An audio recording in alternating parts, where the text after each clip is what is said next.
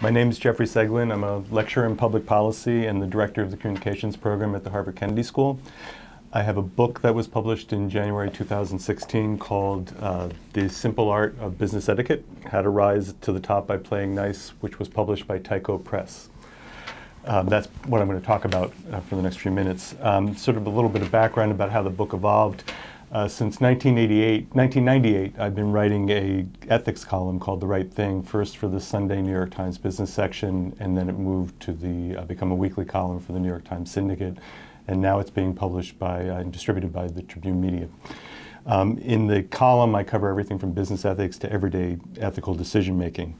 Uh, their column resulted in a couple of earlier books. One was called The Good Bad in Your Business, uh, Choosing Right When Ethical Dilemmas Pull You Apart and another was called The Right Thing, which was a collection of uh, several years of the early column.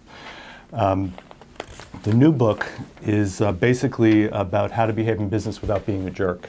So it's about business etiquette. The idea uh, behind the title, The Simple Art of Business Etiquette, is that just because something is simple doesn't always mean it's easy, as judged by the fact that many people have a hard time learning how to behave in business without being a jerk. So the book covers everything from meetings and interviews to dealing with difficult bosses to romance in the workplace. Um, it looks at the right way to use social media and uh, the right way to manage boundaries between personal and professional um, work lives. Uh, each chapter starts with, um, the way the book has been structured, each chapter starts with some basic descriptions of business etiquette, and then there are short cases that bring these descriptions to life, and then there's a multiple choice quiz that uh, readers are asked to take to sort of choose the right answer, and then after that, um, I come back in and sort of give an explanation for what the best right answer might be. Uh, the book was written in a way that it's um, supposed to be engaging, so a lot of the multiple choice in the cases are full with some humor and a bit of uh, whimsy. Um, one of the reasons I wrote the book was that there seems to be a need for civility, both in business and in public life and uh, yet people seem a little bit lost about how to get to that point of civility.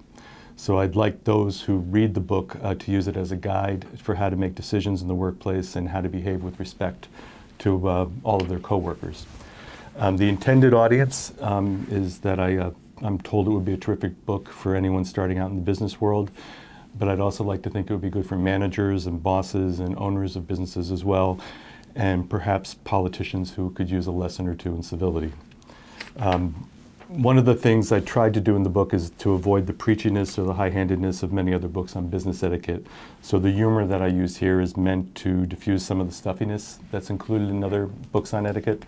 Um, one of the things that's happened, um, as it, the book's only been out for a few weeks, but one of the things that started to happen is that um, people have begun posing with the book and sending me pictures of them. So I started getting photos of New York City police officers on duty reading the book uh, pictures of deans of colleges, pictures of high school students, pictures of pretzel vendors, all reading the book and telling me that they're trying to get etiquette. So I've begun to paste those uh, through social media on Facebook and, and Twitter. Um, so people continue to send me those those photos, which was something that was unforeseen, and they keep coming regularly every day, uh, which has resulted in me having an expanded email box.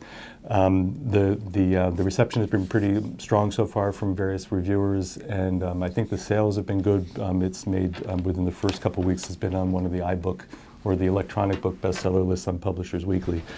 So the, the takeaway is that the book is a quick read and it's full of hands-on advice and information um, such as guiding workers to never punch coworkers in the face um, and other advice about how to quit jobs gracefully and um, the not knowing not to punch someone in the face is pretty obvious. Uh, quitting a job gracefully is a little less obvious. Um, so that's it. That's the new book. Um, this is it. Um, and I hope you're curious enough to uh, take a look and if you take a picture of yourself and email it to me reading the book, I will post it around. Thank you very much.